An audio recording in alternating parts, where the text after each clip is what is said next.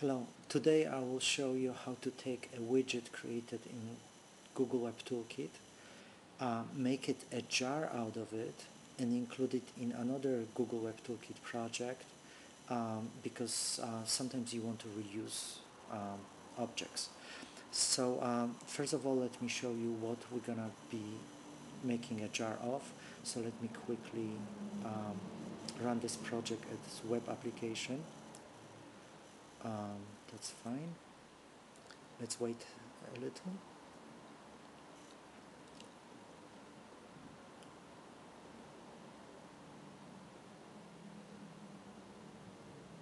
So this is a little uh, balloon widget.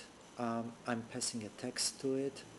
And um, and basically uh, I'm gonna make a jar and use it in another project.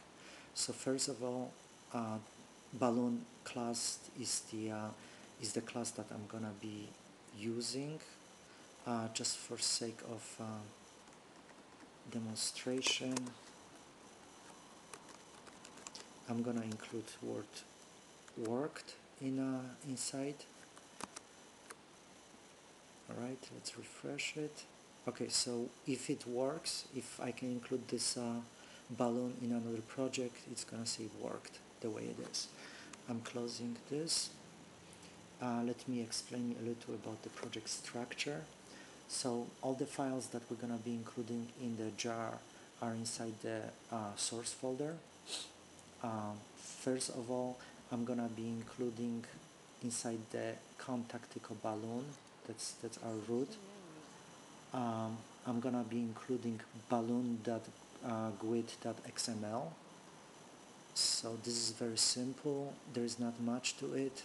All really there is that the module is gonna be renamed to balloon for compilation. Uh, also I have a public balloon gray left uh, folder where all the images are that actually create the balloon. And I have one class that we just looked at. Okay that is the balloon. That's all I'm gonna include. So to create a jar I right click export jar file next. Let me make the window a little bigger. I'm gonna unselect everything expand it expand the source folder since we are all the files are in there. And now the images all the images. Let me expand it more so we have all the images. Also we have the balloon.gwt.xml and finally the the balloon.java and this is really all the files that I want to include right now. I selected check uh, export generated class files and resources export java sources uh, and resources okay I'm gonna increase the version from the previous one and hit finish. Now the jar file is created in the root of my workspace.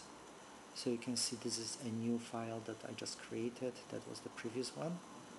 I'm gonna copy this file and include it in in the war web INF library of another project. Okay so I'm just gonna paste it here and you can see this is the version I, I just created. Right I can close this right now. Also I don't need this project anymore so I'm gonna close this project. I'm gonna open a new project. Find the project that I want to include this to. Here we go. The project is nice and red because we're missing we're missing balloon. You can see we're missing the balloon. Okay? Now since I copied the balloon already in the library I would hope that it's there. If it's not there it's not there. If it's not there sometimes you have to refresh. Here we go. This is our version of the balloon now Eclipse still doesn't know about this, so we're gonna do project properties. uh, Java build path libraries, add jars. It actually knows that there is a jar missing. We're including the jar we just pasted. Here we go. Click OK. And here we go. The project is not red anymore. Now let me just uh, run this project as web application. Uh, I believe this is it. And let's wait for it to build.